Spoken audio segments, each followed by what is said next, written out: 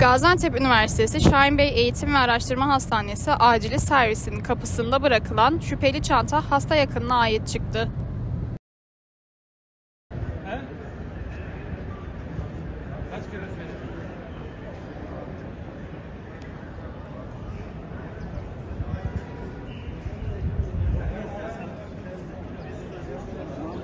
Arka tarafı kullanacak.